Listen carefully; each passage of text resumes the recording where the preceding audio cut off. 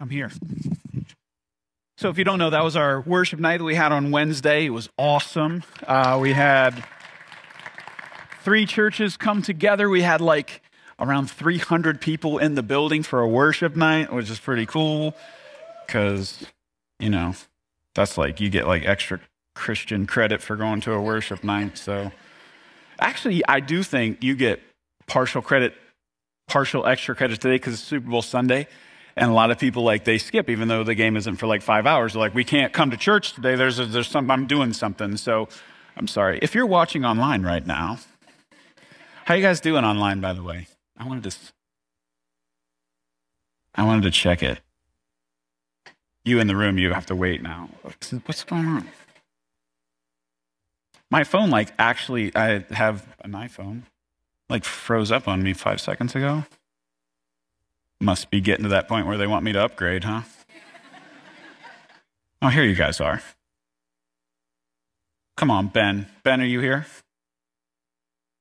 We've got this guy named Ben. He watches from South Korea. It's pretty cool.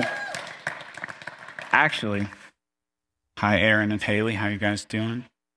Zach Phillips is at work. Nice. Getting paid to watch me. Dude, awesome. You're winning. You're winning. Uh, there he is, Ben. Yeah, I'm excited. Good to see you guys. All right, so the obligatory um, some of you care, some of you don't. Who, who wants the Rams to win tonight? Get out. I'm just kidding. Uh, who, who wants to? Are you just starting like an argument over here? I do. I really care. Uh, Cincinnati.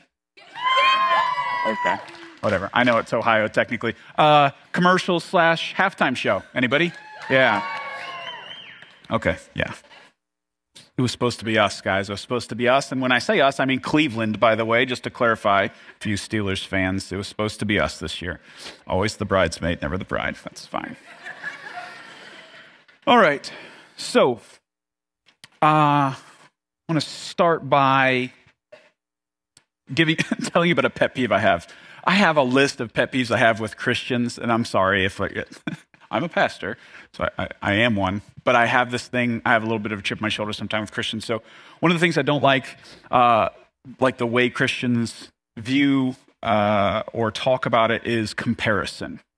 I hate the way Christians talk about comparison. They act like comparison is the worst thing that you could do. You hear sermons, you know, that are called like the comparison trap or um, comparison is the thief of joy, stuff like that. And the gist behind it is that if you compare, you know, you're running the risk of uh, kind of making yourself miserable. And there's some truth to that, right? When you compare, if you compare your house to your neighbor's house or your fitness level to your friend's fitness level or your career to your college career, that can cause you to really be uh, discontent, maybe a little envious and stuff like that. So I get that, that there's like a danger in comparison. But I also know um, that comparison uh, well, I mean, for example, like comparison is the thief of joy, that little saying. That's not a Bible verse. Uh, Teddy Roosevelt said that, just so you know. And he seemed like a cool guy. I don't know much about him, but he's not Jesus. So he doesn't get to tell me how to live my life. Um, I typically don't let presidents tell me how to live my life. Anyways, that's a side note. Um, more people clap for that than the other stuff I say. I do believe that comparison can teach us stuff. Uh, comparison is a way to learn, right? You compare what you do to the way someone successful does something. You can learn from that, right? Uh, now we have to guard against getting sucked into all the negative side about it, but that's, the, that's like the way I've learned like my whole life. I see somebody do something and I watch the way I do it and I try to close the gap between the two. Um, and for if you are a Christian, you know that we're supposed to live like Jesus, right? Like that's a big part of it. Even if you're not a Christian, you know that that's something Christians are supposed to do. We're supposed to follow Jesus, right? So, how do you do that if you don't look at his life and look at your life and say, what's the difference between the two? We have to compare uh, his life and our life and try to, you know, close that gap. So, um, I said all that to say that we're going to do some comparing today. And I wanted to introduce it because some of you would be like, oh my gosh, I can't believe we're doing that because we're in a church and we're not supposed to compare. Yes, you are, you're fine. Um, so we're going to look at a story. We are in a series um, looking at a guy named Jonah, right? Uh, so we left off last week. We only did three verses. It was crazy. We only did three verses, and we left off where Jonah was in a boat, right? He had just gotten into the boat. We're going to compare Jonah's experience in a boat with Jesus experience in a boat. Okay, so Jesus had a lot of different experiences in a boat, but the stories today are crazy similar. And I thought it'd be really cool to kind of do. You ever watch a movie where they're like following two scenes at once? We're just going to kind of flip back and forth between the two movies and see how similar they are. And I think we learn a lot by putting them side by side. So, to set the scene, uh, in both stories right now, we have uh, these, these uh, nautical crews taking off on a journey. Um, in Jonah's story, you have this uh, an experienced crew heading off. Uh, Jonah is going to a city called Tarshish, right? He's supposed to go to Nineveh, but instead he's going to Tarshish. Nineveh would have been 500 miles this way. Instead, he's going 2,500 miles this way. He's trying to get 3,000 miles away from where God wants him. Crazy thing. But they're experienced and they're going this direction. And in this story, we have Jesus' disciples who are experienced fishermen. They are now embarking on a journey as well. So they're both casting off into the water on a trip. Uh, one crew lets Jonah on before they leave. The other crew lets Jesus on before they leave. Um, side note careful who you let onto your boat. That's an important lesson there. Because uh, these two trips, while they go similarly, one causes a storm, one stops the storm. Sorry, spoiler alert. Verse 4 in Jonah chapter 1. But the Lord hurled a powerful wind over the sea, causing a violent storm that threatened to break the ship apart. So Jonah is going in the opposite direction of the way God wants him, and uh, the Lord hurled a violent storm. So it sounds like God's got a good arm, right? He's throwing wind, and this violent storm starts over here. Now, flip scene over to Jesus in Mark 4:35. As evening came, Jesus said to his disciples, "Let's cross to the other side of the lake." So they took Jesus in the boat and started out leaving the crowds behind, although their other boats followed. But soon a fierce storm came up. High waves were breaking into the boat, and it began to fill with water. So we have some crazy similarities here, right? These stories are hundreds of years apart, but you have an experienced crew in each one setting off on a journey, and both ships now are encountering storm, right? We got boats, we got bodies of water, we got breaking uh, waves, and we've got big storms. So here's why I think it's important to look at these two stories together. If I just read Jonah's story, I'm tempted to say if I encounter a storm in my life, it must mean I'm going in the wrong direction, right? That, that, that's the lesson in Jonah is that he's, he's going in the wrong direction and God sends a storm to turn him around and get him to go the right direction. So if you just read that story, you think, if I hit a storm, God must be trying to turn me around. But if you look over here in Mark, in Jesus' storm, well, who, who told him to get in the boat? Jesus did. Who, who set the course? Jesus did. So I can't say, looking at this storm, that this storm is God trying to turn them around, right? I can't say that they're running from God. In this storm, God's in the boat with them. So it can't be that, that this storm is meant to turn them around. So, this is the first lesson as we compare these two stories you have to interpret your storm. You have to interpret your storm. A storm does not automatically mean one thing or the other. Wouldn't it be nice if you had some things that happened in your life that automatically meant something spiritually? I would love if I knew that every time I encountered a storm, that meant God wanted me to change direction. I would love that, but that's not what it means. You have to interpret it. You have to look into these things. Jesus was not going in the wrong direction, Jonah was not going in the right direction, and they both encounter storms. So you have to interpret your storm. So let me give you a little bit of a, I don't know, like a rubric to look at your storm uh, that you may be in right now. One, uh, if you're doing something that the Bible clearly says not to do, or you're not doing something that the Bible clearly says to do, and you encounter a storm, specifically in that area of your life, I would say there's a good chance that, that storm is designed to get your attention and, and to change your direction. The source of the storm may well be God.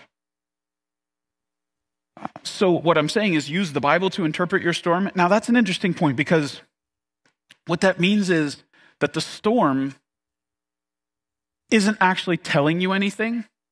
And I think people want the storm to mean something, but listen, look at just actually, you just look at Jonah's story. Jonah did not need the storm to know that he was going in the wrong direction, right? He already knew that.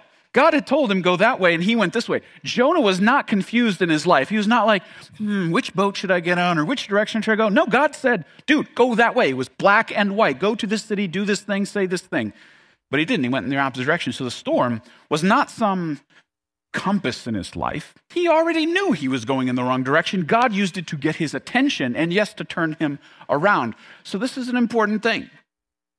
What I'm saying is use the Bible as a compass in your life, not your storms and not your circumstances. That's really what I want you to do here. The storm um, might be God getting your attention, but odds are you already knew you were doing something God didn't want you doing. So, if you're going in the wrong direction and you kind of already know it and you're hitting a storm, yep, that could be from God, and yep, He might be trying to get you to turn around. On the other hand, like if you're attempting in your life to like build God's kingdom and to share Jesus with people and to push back darkness and to like be obedient to God in your life in some area and you encounter a storm doing those things, well, then that storm is designed to distract you and deter you. And I believe the source of that storm would be Satan. He, he wants to get you off course. He wants to throw you off. You're trying to do what God wants you to do. You're trying to be obedient to God, and He is throwing in the wind and the waves because He wants to trip you up. He wants to slow you down. He wants to get you to change course. And then there's a third option. This one's kind of weird, but I don't know. Like, let me give you an example. Like, if you walk in late to work and you have a Dunkin' Donuts cup in your hand, or a Starbucks, or whatever, and you get in trouble and your boss yells at you, don't say, Oh, Satan's sending a storm after me today. No, no, no, he didn't. He didn't do anything. The source of the storm is you. It's your stupid choices. Um, so can here and here. I'm sorry, that's really harsh, man. You don't even know me. Uh, but listen, Christians have this tendency to spiritualize everything, right? Like either, you know, it's God trying to get my attention or turn me around, or it's Satan trying to stop me. You know what? There's a third option. It's not spiritual, it's not sinful, it's just a stupid choice that you made, and now you have the consequences of that choice. Sometimes it's just that. So, um, I, hate to be practical. you know, it's not something preachers normally are, but um, sometimes it's just your choices. So I don't know, get up 30 minutes earlier or make your own coffee. Don't go, you know, the Dunkin' line's going to be out to the road. Everybody complains about it all the time. Don't do that. Um, so you need to interpret your storm. You need to interpret your storm. All right, so both experience crews, both experiencing storms. Here's what happens next, verse 5 uh, in Jonah's story. Fearing for their lives, the desperate sailors shouted to their gods for help and threw the cargo overboard to lighten the ship. So in Jonah's story, you have these, these the crew in Jonah's story are not, uh, they don't have faith in Jonah's God. They have faith in all kinds of other gods. So their first instinct is they pray and then they start jettisoning uh, their cargo. They want the ship to sit a little higher in the water. Flip over to Jesus' story in, in verse 38. The disciples shouting, Teacher, don't you care that we're going to drown? Now, that's not the whole verse, but I don't we're going to get to the other part later. Uh, essentially, you have the disciples who are the ones in charge of the ship uh, freaking out, panicking. Yes, they wake Jesus up. Um, but look at what they say to Jesus. I mean, that is the right thing to do, by the way. If you ever find yourself in a boat and Jesus is sleeping, you hit a storm, you should wake him up. That is absolutely A plus, good, good job. But look at what they say to him. Like the way they talk to Jesus in that moment, don't you care that we're going to drown? Like it implies some things there. So um, I'm going to say that I'm going to I'm going to paint the sailors in Jonah's story as actually doing the right thing. And I kind of want to say, besides waking Jesus up, that the disciples have like the wrong attitude and the wrong perspective. And, and the Jonah story is actually meant, uh, it's kind of a genius literary piece because everything in the story is upside down. I think I mentioned this last week. You have a prophet who doesn't want to speak, a man of God who wants to be far from God. We have these pagan sailors who actually respond the right way to a storm. It's actually kind of crazy. So everything in the story is kind of flipped upside down. These guys should have been the ones freaking out. Jonah should have been the one, hey, let's, let's do this right thing. And instead, uh, that's not the case. So these sailors, they pray and then they prepare. These ones over here, they panic and then they panic. So when I want to ask you when a crisis hits your life, how do you respond? When a crisis hits your life, how do you respond? What's your instinct? You know what I mean? Not like the thing that happens before you catch yourself. What's your instinct when a crisis hits? Is it prayer or is it panic? Y'all know that there's a difference between, you give me five minutes, I can, I can respond the way a pastor should respond, but you catch me in that 30 seconds, I was telling first service that I was like getting a little heated in our YMCA basketball game the other day with, with 10 year olds. And I was like, I literally walked off the court to uh, Jake, his son's on our team, uh, or his 15 kids are on our team. And um, I was like, I know I'm not supposed to like punch a 12 year old. but I kind of want to punch a 12 year old. But that was my instinct. I caught myself. I didn't. I did squeeze his hand a little bit when he went to shake it. Um, that's as far as it went. but what's your, what's your instinct? I, like for me, your instinct tells you a lot about what's going on in here. And honestly, I had to pray about that because I was like, I kind of do want to fight the 12 year old. So I'm like, Lord, what's going on in here? But when you hit a crisis, do you, do you instinctively go to prayer or do you instinctively go to panic? What's the first thing that pops out of you? Because that means something, that tells you something. And listen, if you're a Christian, this is a huge deal. This is a huge deal. How you respond when a crisis hits in your life is a huge deal. Because how you respond to a crisis is a huge part of your witness to the world, of your witness to the world. Think about that all the stuff you say about God, all these stances that you have, all these principles that you live by, you can say all the right things, but if you hit a crisis and you go to panic, what do you think the people in your life believe about you? Do they, do they believe all the principles and all the lofty words, or do they believe where you go when something gets tough? I'm telling you, this is a huge deal. How you respond in crisis is a huge part of your witness to the world. Because Paul tells us in Philippians, right, that if we pray in a crisis, we, we have access to the peace of God, which surpasses all understanding, right? So it doesn't even make sense how much peace you're supposed to have as a Christian. If you pray, you have access to that peace. So when you're in a crisis and you're praying and you have that peace, people are going to look at you and go, How are you not falling apart right now? How are you still here? How are you not freaking all the way out right now? And that gives you the opportunity to tell them about the source of the peace that you have. But if you freak out, being a person who has faith in a God who loves you and cares about you and has all the resources at his disposal, what do you think people are going to think about that God or what you or the faith you claim to have in him? That's a big deal. That's a big deal. So, how do you respond? What is your instinct in a crisis? Um, and then the other thing I like about the, the sailors in Jonah's story is that they pray and they prepare. Did you notice that? That they, they prayed, admittedly, to the wrong God, but whatever. Um, and then they start throwing cargo over. They do something. And this is another thing Christians do, man. And I, I it's like one of, another one of my pet peeves. I'm sorry being hard on Christians today. Um, but they have it's what I call like the Carrie Underwood theology, like the Jesus take the wheel theology, right? Where you just kind of pray and then you just sit there, like, all right, Lord, I prayed, so now what are you going to do? But like, that's never, oh, almost never in the Bible is that the thing. Like, he always wants us to pray and do something. So they pray and they're throwing stuff out of the ship. They're doing something about it. So um, it's an old saying pray like it all depends on God, work like it all depends on you. Both of those things together are how the Christian is supposed to live. Uh, so I really like that these guys, again, they're somehow they're, they're getting it right over here while the disciples are freaking out over here. All right, so the stories continue. And again, the fact that they are so parallel is crazy. Verse 5 in the Jonah story. But all this time, Jonah was sound asleep in the hold. So the captain went down to him. How can you sleep at a time like this? He shouted. Get up and pray to your God. Maybe he will pay attention to us and spare our lives. So Jonah's asleep in a storm. It doesn't make a ton of sense. Flip over to Jesus' story, verse 38. Jesus was sleeping at the back of the boat with his head on a cushion both storms, both of our protagonists, I suppose, are asleep in the boat. Little side note on this Jesus verse with the head on the cushion. I have to tell you this. I can't like not tell you because it's just such a cool thing. Um, in the back of the boat with his head on a cushion. It's such a weird detail to include.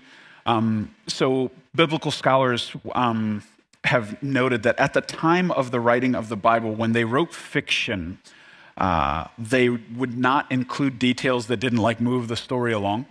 They would never, that's not the way they wrote fiction back then. If there was a detail in a fiction story, it always had something to do, you know, always move the story along.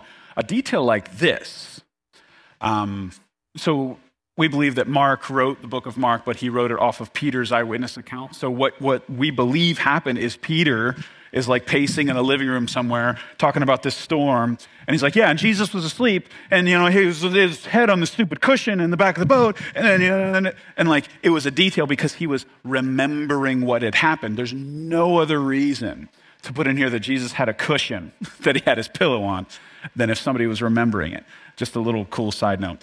Kind of helps me uh, with the validity and truth of the Bible. Uh, so, anyways, both are asleep. Now, here's the interesting thing though there's two storms, two boats, two people sleeping, but the reason they're sleeping could not be further apart. Their, their motive and their attitude behind sleeping are polar opposites. Jesus is asleep because he has absolute power and absolute hope, right? Jonah, Jonah is asleep because he has no power and no hope. So while they look the same on the outside, their internal uh, workings, the, the thing that led them to that sleep, are very different. Now, this is one of those things where it's hard to be like, be like Jesus.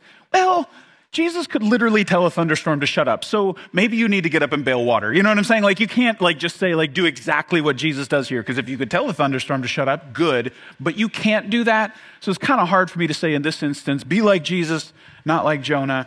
Um, and we'll talk about that more here in a minute. But I want to look at Jonah's sleep.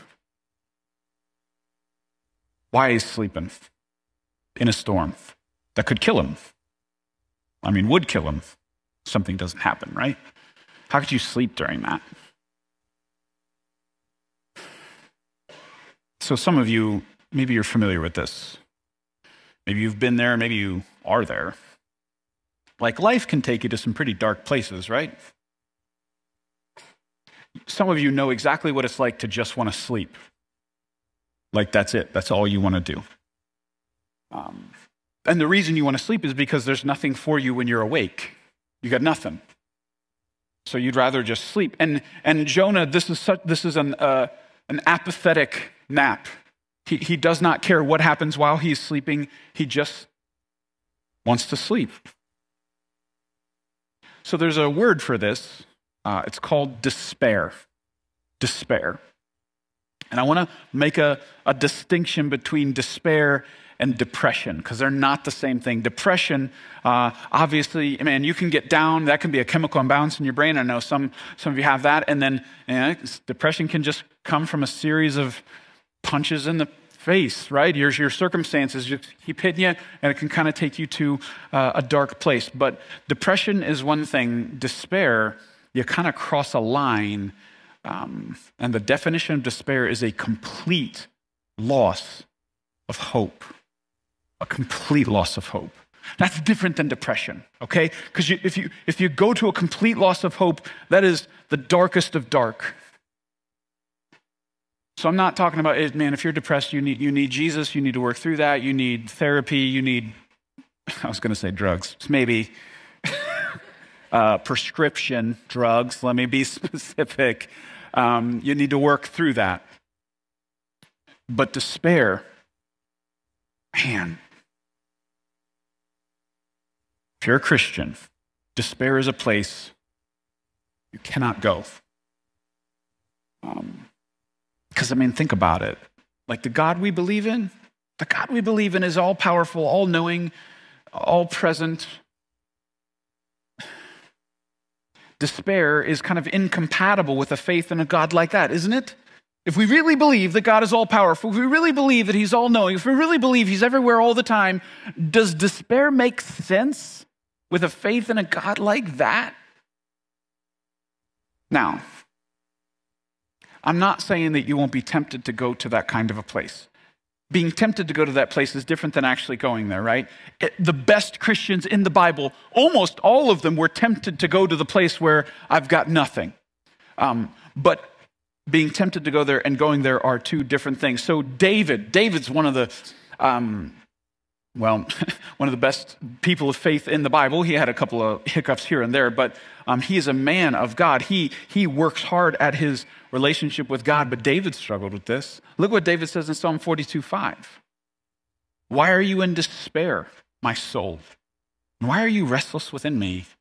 Wait for God, for I will again praise him for the help of his presence, my God. So David, he's down, he's definitely down, and he sees his soul starting to slip into this place of no hope. And look at what he does. He talks to his soul. He talks to his soul. He has a conversation. It's not a monologue in here, it's a dialogue. He is actually speaking to his soul, saying, Hey, what are you doing? I see that you're heading in this direction. Stop it. You don't, you don't belong over there. And I love that. I think this is an important thing, especially, man, I think so often, especially in our weird day and age that we live in, we act like feelings are king. And like, if I feel this way, it's real, it's valid, it's all these things. And, and, and sure, okay. But I also think you can, you can mentally fight back and not go to those places. And that's what David's doing here. He's saying, yeah, okay, I understand that I'm tempted to feel this way, but no, that doesn't make sense. That's not consistent with my reality as a person of faith. For me to say I have no hope at all does not make sense. I believe in an all powerful God, and an all knowing God, a God who loves me, and I'm still alive. That means I don't have no hope. That's one of the things we say here all the time. If, if you're not dead, God's not done. There is something that God wants to do in your life, even in the darkest of places. Matter of fact, my guess is He lets you get to the dark places. He's going to use that dark place to help somebody else out of their dark place. There's going to be purpose even in the darkest. You got to fight back. You got to mentally fight back against the temptation to go to despair. We are never without hope. So I hope you never have a sleep like Jonah's, the sleep of despair. Now, they're both sleeping. Uh, they both get woke up. This is what happens next. We're going to look at Jesus' story first and then Jonah's in this instance, verse 35, 39 in Jesus' story. Uh, when Jesus woke up, he rebuked the wind and said to the waves, Silence, be still. Suddenly, the wind stopped and there was a great calm. Then he turns on the disciples, asks them, Why are you afraid? Do you still have no faith? The disciples were absolutely terrified. Who is this man? They asked each other. Even the wind and the waves obey him. Man, there's so much in just those couple of verses. So, one, dude gets up, tells a thunderstorm to shut up, you're interrupting my REM cycle, right? I mean, just like an inconvenience to my nap here. And then he wheels on the disciples. I mean, the fact that he has that kind of authority, and then he's just like, and what's up with you guys? Why were you afraid? Mm. This is one of those times in the Bible, again, where I look at it and I go, wow, like that's, that's, I want to say harsh, right? You're, you're in a life threatening storm, and Jesus' response is, Don't you trust me? Like, don't you, don't you know who I am? Don't you know what I can do? Like, that's putting the bar pretty high. And then the response this is again the, the way these things are written it's this literary genius because they were terrified of the storm and then it, they're terrified of the calm because of the source of the calm is in the boat with them and they realize the power that would have took to tell the thunderstorm to shut up is now sitting on a cushion in the back of the boat and they're like oh my. They're terrified of that as well. Now that's the jesus story. Jesus calms the storm. Jonah has a little different tactic. So over here in verse 12 here's jonah's solution. Throw me into the sea he said, and I will, and it will become calm again. I know that this terrible storm is all my fault. Instead, the sailors rowed even harder to get the ship to land, but the stormy sea was too violent for them, and they couldn't make it. So Jonah's like, It's me, guys. I'm the source. I'm the problem. You get rid of me, you get rid of the storm. That's the way it's going to work. And the, the, the, sailors are such good guys that they're like, We don't want to do that. So they try to row back to, to, to land, uh, but the storm will not let them get back to land. Verse 14. Then they cried out to the Lord, to Jonah's God. Now they're praying to Jonah's God. O Lord, they pleaded, don't make us die for this man's sin. And don't hold us responsible for his death. O Lord, you have sent this storm upon him for your own good reasons. Then the sailors picked Jonah up, threw him into the raging sea, and the storm stopped at once. The sailors were awestruck by the Lord's great power and offered him a sacrifice and vowed to serve him. So, again, the, the parallel, I just love the parallels between these two stories. Jonah's like, It's me, guys. You gotta, you gotta get rid of me. They don't want to. And then they pray this profound prayer. And they toss him into the sea. And the same kind of thing happens. They were afraid of the storm and then they were afraid of the calm because they knew that the source of the calm must have been more powerful than the source of the storm. And they kind of have that holy moment where they're like, whoa. Now, they, they prayed something here.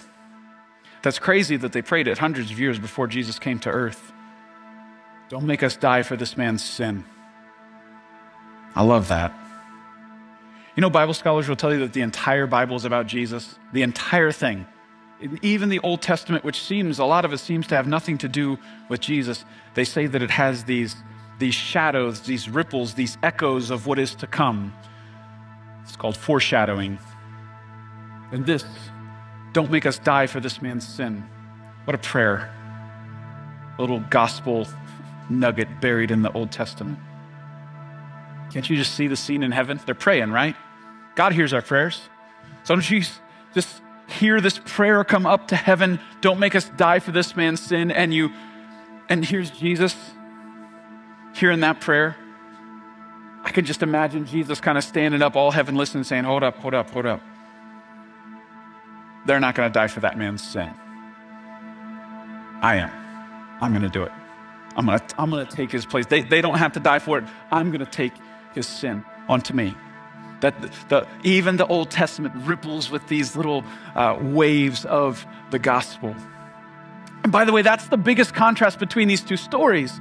Um, Jonah is trying to run away from telling people about a God that loves them. Jesus, on the other hand, this is the part I didn't tell you about, unless you're a Bible scholar, you probably didn't realize this. Do you know where Jesus was going? It's a crazy thing. It's a crazy thing. Because remember, Jesus told him to get in the boat, right? This wasn't Peter's idea. This wasn't the disciples' idea. They weren't going fishing. Jesus said, We're getting in the boat. Jesus is the one that said, We're going across the lake. Specifically to a town called Gadara, which the archaeologists don't even know where this was. It's, it's that insignificant. You know what Jesus does there? And you would think this is like, if, if I, I'm just going to say, he, he gets up, specifically makes a special trip. He's going to go all the way across the lake. He's going to get in a fist fight with a thunderstorm. What's he going to do? Seems like a big thing. He gets over there and he heals one guy, just one. And then he comes back. It's crazy. But I want to look at the story. You might be familiar with the story as I start reading it. It's in Mark chapter 5. Verse 2 When Jesus climbed out of the boat, a man possessed by an evil spirit came up from the tombs to meet him. This man lived in the burial caves and could no longer be restrained, even with a chain. So this man's got he's got some evil things going on inside of him. And he runs up on Jesus. Verse 4. Whenever he was put into chains and shackles, as he often was, he snapped the chains from his wrist and smashed the shackles. No one was strong enough to subdue him. No one. Day and night he wandered among the burial caves and hills, howling and cutting himself with sharp stones. Man, so like, whatever the evil is inside of this guy was so powerful that nobody could do anything about it. Nobody could subdue him. Jesus walks off the boat and this guy runs up on him. I mean, I, don't you just wonder the scene like Peter was always skittish. He's like looking for an oar to hit him with or something, right? It's like, what's going to happen? Now, there's a whole bunch of details in the story, but Jesus basically speaks to the evil inside of this man and says, Go. And it has to go. The man's healed completely in that moment. But um, that little part about the guy being stuck in this, this burial, I mean, he lives in a cemetery. And he's cutting himself and he's, he's tortured. And it says that he wandered around the hills howling and cutting himself with sharp stones. Like this horrible, like torture that this man endured. Now, you know, in the Gospels, if you've ever read Matthew, Mark, Luke, and John, you know how often Jesus went away to like a quiet place to pray? It's pretty consistent, right? If you read in those stories, Jesus went away to pray, Jesus went away to pray early in the morning, late at night. Jesus was always kind of getting away by himself into a quiet place and praying. I wonder if he didn't go up on a hill somewhere that kind of overlooked the lake and he wasn't having his moments with God, and if the wind came just right, he didn't hear that howling from that man. He didn't hear that pain from that man come across the lake, just a whisper. And if at some point Jesus didn't just decide, you know what? I'm going to do something about this. I'm done with this. I'm gonna make a special trip. I'm gonna get in a boat and and uh, the the thunderstorm, this this thing, because man Satan didn't want to let this guy go. He was to try and prevent Jesus from getting to this guy, and Jesus like, get out of my face, Satan! You can't stop me. Jesus walks up onto that shore and heals the guy instantly. I wonder if, like, that's where you're at. You feel like that man who's, who's, you've got an internal struggle, you've got an internal pain, you've got a howling on the inside. Man, I just want you to know that Jesus coming for you. We have a, a, relentless God who loves you and wants to heal you and have you live a life of purpose and passion, not one that's just constantly filled with pain. And I'm not saying your life's going to be perfect. But I do believe that he wants to step into that, and I believe he has all authority. I believe Jesus can speak into your soul and quiet it. I believe he loves you enough to do it. And I actually, it's weird, maybe it's just like a pastor thing. I believe the evidence that God wants to do something in your life is the fact that you're sitting here in a church. I don't know that's weird. Maybe you're like, no, the reason I'm sitting here is because my wife may be come. Okay, fine. then God is using your wife. I'll give her that weapon against you later. Pastor said, I, he, God speaks through me. But I believe God brought you here for because he wants you to know that he loves you and he wants to work in your life and he wants to heal that wound. He's pursuing you. Jesus did all that for one guy. So you need to hear that. In Jesus' name, there is healing, there is peace. Now, some of you already know that. I want to finish the story. Verse starting in verse 18, look at what happens. As Jesus was getting into the boat, because he's done here, because he healed one guy, the man who had been demon possessed begged to go with him. But Jesus said no. He didn't let him follow him, but listen to why. Go home to your family and tell them everything the Lord has done for you and how merciful he has been. So the man started off to visit the 10 towns of that region, began to proclaim the great things Jesus had done for him, and everyone was amazed at what he told them. So, Jesus, I mean, guys, that's that's huge. If you're reading your Bible like Jesus was the guy who would walk up to people and say, "Follow me." This guy runs up to Jesus and says, "Let me follow you." And Jesus says, "No, dude. You got something else you're supposed to do." Now that's crazy because his mission was Jesus. Remember, Jesus went over onto this side of the lake just one time, healed one guy, and he went back, but he left the guy there. He left him there, planting a little explosive behind enemy lines here because Jesus knew that this guy was not going to stay quiet about what God had done in his life. He was going to go out and he was going to tell everybody about what God had done. And that the fame of Jesus' name and the, the, the faith would spread out on that side of the lake because of what God did in his life. There's a responsibility when God does something in your life that he wants to do something through you, right? It's one of the things we talk about here often. God wants to do some things for you, some things in you, and then he wants to do some things through you. People in your life who are far from God but close to you. He wants to use you to draw them to him. He wants to use a little conversation here, a little attitude there, a little text message here to draw people to Him through you. This man got it. He had a passion for it. And uh, we, as a church, have a passion for it. And I want to continue to invite you into that. That God has done some amazing things in your life, and He wants to use you to reach people that are in your life. And He put you there for a reason. Put you there for a reason. Worship team, why don't you guys come up here? It's one of the things we're praying for this year is that person, that person in your life who's far from God but close to you, that God would give you the opportunity to have that conversation. Don't stop praying for it just because the fast is over. Keep, keep that going. Pray with me. Jesus, pray for the person who's in a, in a storm right now. I pray that you give them wisdom to find out what, it, what the reason is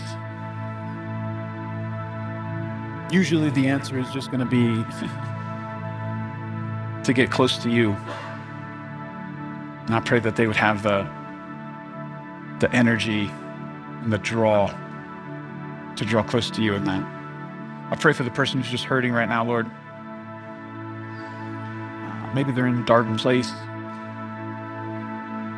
Maybe they know what that sleep that Jonah slept is like. I pray that you would shine your light into that that they would see you for who you are, that you are all powerful and all loving, and you want to move in their life. They would be drawn into that and drawn out of that dark place, Lord. I pray that we would, as Christians, catch that fire that that man had, that passion to share what Jesus has done with as many people as possible. Lord, I want that. I want that to be contagious in this place, to build your kingdom, fulfill your mission.